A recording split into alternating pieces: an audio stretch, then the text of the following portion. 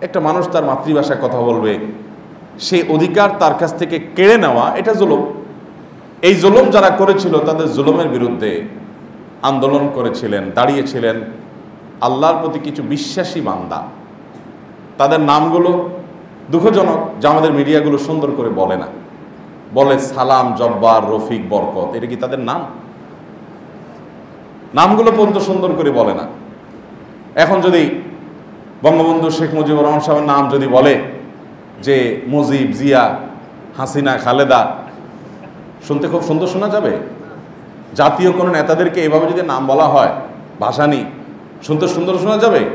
তাহলে ভাষার জন্য যারা আত্মত্যাগ করেছে, তাদের নামগুলো আমাদের মিডিয়াতে কেন এভাবে উপস্থাপিত হয়? এটা আপত্তিকর নয় কি? আল্লাহ জানে কেন হয়। হয়তো তাদের ইসলামিক নাম চমৎকার সুন্দর নাম, যে নাম থেকে প্রমাণ হয়, তারা প্রত্যেকটা মানুষ বিশ্বাসী, আল্লাহর প্রতি ইমানদার বান্দা ছিলেন। এটা হয়তো কোনোভাবে একটু হাইড করতে চায় কিনা, আল্লাহ জানে। অনেক কারসাজি থাকে মিডিয়াগুলো না হলে এই মানুষগুলোর নাম তো বড় সুন্দর সুন্দর নাম ছিল। আব্দুল সালাম, আব্দুল জব্বার, রফিকুল্লাহ হ্যাঁ? আরেকজনকে? বরকতুল্লাহ হ্যাঁ? তা আব্দুল সালাম। এত সুন্দর সুন্দর নাম। এই নামগুলো দেখলে বোঝা যায় লোকগুলো পরিপূর্ণ ইমানদার বান্দা ছিলেন। আব্দুল সালাম, আব্দুল আব্দুল জব্বার হ্যাঁ? শফিকুল ইসলাম হ্যাঁ? না, রফিকুল ইসলাম রফিকুল ইসলাম, বরকতুল্লাহ।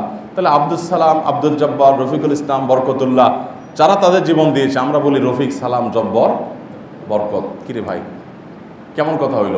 এরকম ন্যাংটা ন্যাংটা করে তাদের নামটা আপনি কেন বলতেছেন? তারা আপনার মাতৃভাষায় কথা বলার অধিকার এনে দিয়েছে। আপনি সেটাকে দিয়ে বিজনেস করতেছেন। আপনি সেটাকে নিয়ে আপনার নানা রকমের আপনার নিজস্ব যুক্তি চাপায় দেওয়ার চেষ্টা করছেন। তাদের নামটা বন্ধু সুন্দর করে নিচ্ছেন না কেন? এই নামগুলো দেখে বোঝা যায়, এই মানুষগুলো আল্লাহর প্রতি বিশ্বাসী বান্দা ছিলেন। আল্লাহ তালা তাদেরকে শাহাদতের মর্যাদা দান করুন।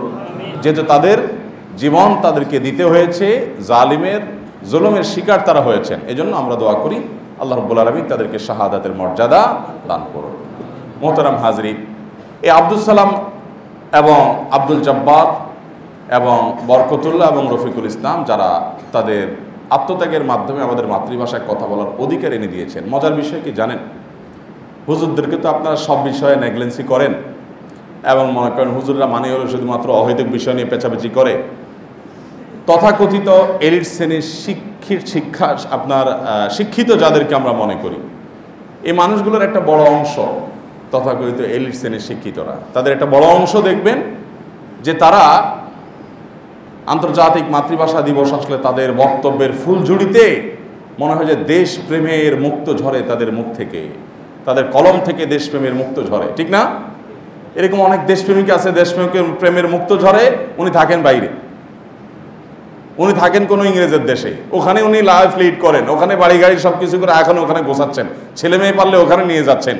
কিন্তু উনি মাতৃভাষা, দেশের প্রতি ভালোবাসা, মমতা, এগুলোর সবক এবং শিক্ষা আমাদেরকে বসে বসে টেলিভিশনে দেন, পত্রিকার পাতায় দেন। এরকম নজর কি এক, দুইটা না বেশিরভাগ? ভাইরা আমার, আমাদের জাতীয় নেতারা পাঞ্জাবি পড়তেন, লুঙ্গি পড়তেন। এখন পাঞ্জাবি আর লুঙ্গি পরে বা ঢাকা ইউনিভার্সিটিতে ভর্তি হতে চান বা ক্লাস করতে চান, কোনো কোনো ফাইভ স্টার হোটেলে নাকি নিষেধ, নিষেধই আছে যে না লুঙ্গি পরে আসা যাবে না। আপনি ইংরেজের জামা পরে যেতে পারেন, অসুবিধা নেই। কিন্তু দেশীয় পোশাক পরতে পারবেন না। আমাদের মুখে দেশপ্রেম এটা মানায় না। এই মুখে দেশপ্রেম মানায় না। এটা দেশপ্রেমের নামে প্রতারণা। আপনি দেশপ্রেমের নামে এমন কিছু জিনিস করতে বলেন যে হ্যাঁ ঠিক আছে, তুমি ওখানে ফুল দাও, তাহলে তোমার দেশপ্রেম আছে। আপনার ফুল দেওয়া দেশপ্রেম নয়। আমি মাতৃভাষায় কথা বলব, মাতৃভাষাকে ভালোবাসবো, মাতৃভাষার চর্চা করব, আমার এটা দেশপ্রেম। আপনি যেটা করছেন ওইটা সব ওটা প্রকৃত দেশপ্রেম নয়। প্রকৃত দেশপ্রেম হলো প্রকৃত ভাষা প্রেম যদি বলেন, প্রকৃত ভাষা প্রেম হলো আমি বাংলা ভাষা চর্চা করি যথাযথভাবে।